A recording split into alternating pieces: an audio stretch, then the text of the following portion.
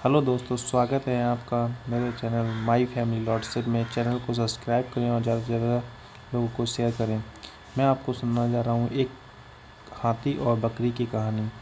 एक जंगल में एक हाथी और एक बकरी रहते थे। दोनों बहुत पक्के दोस्त थे। दोनों साथ में मिलकर हर दिन खाने की तलाश करते और साथ में ही खाते थे।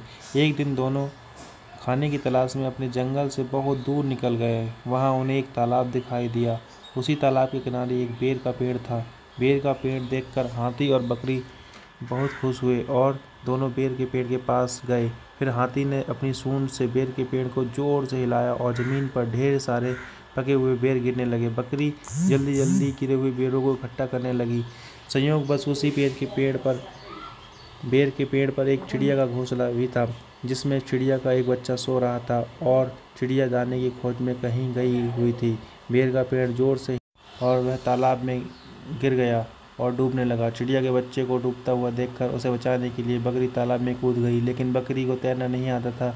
इस वजह से वह भी तालाब में डूबने लगी। बकरी को डूबता हुआ देखकर हाथी भी तालाब में कूद गया और बकरी को और चिड़िया के बच्चे को दोनों को हाथी ने बचा लिया।